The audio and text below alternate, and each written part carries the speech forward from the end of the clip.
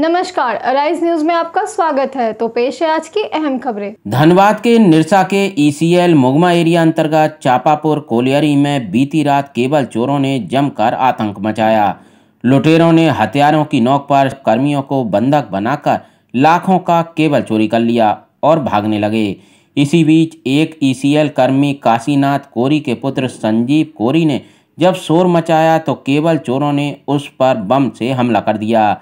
जिसमें इलाज के दौरान उसकी मौत हो गई। उधर संजीव की दुखद मौत से स्थानीय ग्रामीणों का गुस्सा फूट पड़ा और वो उसके शव को लेकर चापापुर कोलियरी के पास बैठकर विरोध प्रदर्शन करने लगे। उधर कुछ ही समय में ये खबर आग की तरह फैल गई और ईसीएल प्रबंधन के साथ ही राजनीतिक दलों के नेता भी मौके पर पहुँच गए। इसी क्रम में मौके पर पहुँची निरसा विधायक अपर्णा सेन गुप्ता ने पीड़ित परिवार को सांत्वना दी।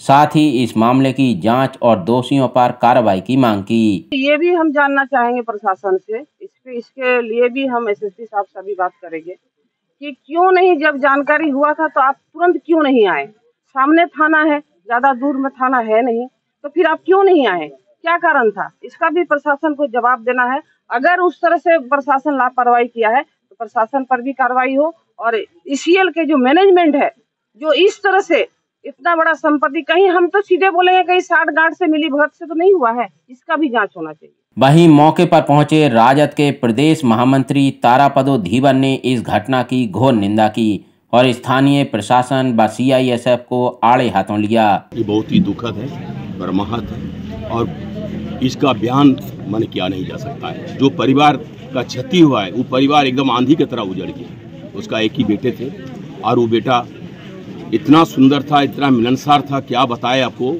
तो मतलब बयान नहीं कर सकते। उस दुख दुख के लोग को, उस परिवार के साथ है। और इस तरह उनको सहायता करे ये दुख को सहने के लिए। हम लोग जीएम से भी वार्ता जीएम साहब से भी वार्ता हुई। जीएम साहब का बहुत ही, मैंने, आपका पॉजिटिव बात बोले कि हम तुरंत मतलब इसको बुलाते हैं, सबको बुलाकर जो ये है, आपको सुरक्षा के बंदोबस्त के लिए हम लोग पूरा कड़ी कदम उठाएँगे। बड़ा बाबू भी थाना के बोले। सभी प्रशासन के लोगों से मतलब भी वार्ता हुई। लेकिन एक बात हमने कहा कि भाई सीआईएसएफ आपको इतना रहते हैं, जो सीआईएसएफ सेंट्रल सेंट्रल से दिया गया है सीआईएसएफ को दिया गया है खाली कोलियारी कोलियारी क्षेत्र को देने बड़ा वो तो बहुत बड़ा बड़ा क्षेत्र है। लेकिन सीआई पे क्या को क्यों रखा जाता है? अगर वो सेफ्टी नहीं देखेगा मैदान नहीं देखेगा, अगर पंप जहाँ पे जहाँ पे हमारा भीटी पंप एकदम जंगल में है, कहीं गाँव पे है, कहीं कहीं मतलब रास्ता पे है वो उस समय उस समय अगर नहीं घूमेगा, संपत्ति का रक्षा नहीं कर सकता तो सियासत किस लिए है? उधर ECL, Mugma area GM Anand ji भी घटना की खबर सुनकर तुरंत मौके पर पहुँच गए और पीड़ित परिवार को सांत्वना देने के साथ ही हर संभव मदद का आश्वासन दिया।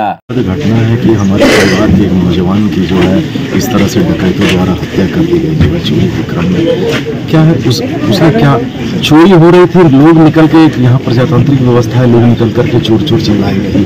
क्या किसी सड़क पर गुजरते हुए किसी घटना होती है तो हम लोग तो मूक दर्शक नहीं बन सकते हैं। हमारी सिक्योरिटी के लोगों को बंधक बना लिया गया था। पेट्रोलिंग की आ रही थी। चालीस, पचास की संख्या में जो वादा था इस इस इस इस अत्यंत दुखद समय पे मैं शोकाकुल परिवार के साथ हूँ। अपनी शोक संतापना व्यक्त करता हूँ। इस घटना की जितनी निंदा की जाए, वो कम है। और मैं भगवान से यही प्रार्थना करता हूँ कि उस दिवंगत आत्मा को वहीं इस अवसर पर पहुँचे झारखंड मुक्ति मोर्चा के जिला अध्यक्ष लखी सोरेन ने घटना की निंदा करते हुए प्रशासन से गश्ती टीम को और अधिक एक्टिव करने की मांग की और पीड़ित परिवार को ढांढस बनाया। घटना राजनेता के साथ साथ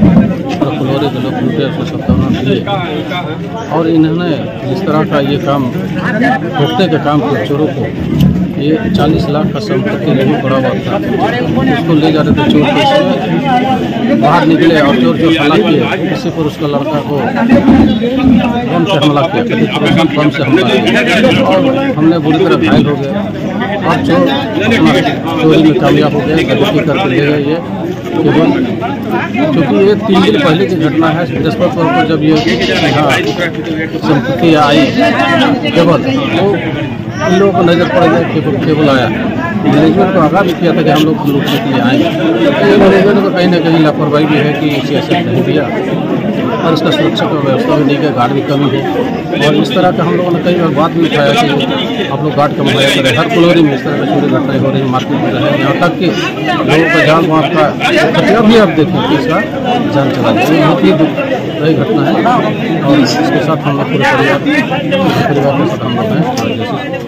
हालाँकि राजनीतिक दलों के नेताओं व ईसीएल प्रबंधन से वार्ता के बाद ग्रामीण मृतक संजीव के शव के पोस्टमार्टम को राज़ी हुए।